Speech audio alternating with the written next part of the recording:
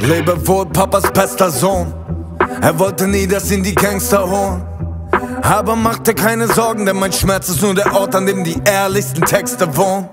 Ich weiß, das Leben hält die Schlechten fest, aber lässt die Besten los. Kein Kaliber färben, selbst die weißeste Weste rot. Sie wollen mich testen, aber ich bin diese Tests gewohnt. Schon mit elf das erste Eisen für mein Dad versteckt im Hof. Unter Stress wird nicht noch besser, wenn du's wissen willst. Und glaube mir, mein Stress ist groß. Sie sagen, töte sie mit Liebe und davon gib ich seit Jahren. Doch muss immer wieder feststellen, die Wichser sind noch längst nicht tot. Du kannst es haben, ich geb dir alles wieder. Den Hype, den Hass, die Features. Behalt das Licht, den Fame, die Lieder. Denn die reinste Form von Hass ist Social Media. Sag mir, wieso du mich hast.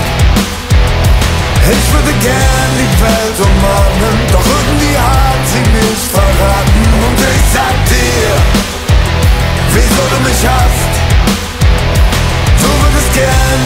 Welt umarmen, doch irgendwie hat sie dich verraten.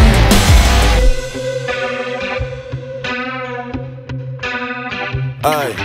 Dein Berlin ist Hype, mein Berlin ist trostlos. Ich bin auf 80.000 Selfies, doch auf keinem Familienfoto. Du nennst mich Bruder noch bevor ich dein Freund war und dann begräbst du meinen Arsch für Promo. Gott sei Dank hab ich den Punkt nicht verpasst, mich zu ändern.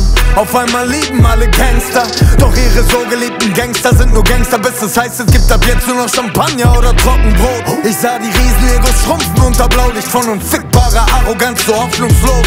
Vom Benz und nem Pool zu Cents in nem Hut, vom Rapstar zum Junkie und Obdachlos.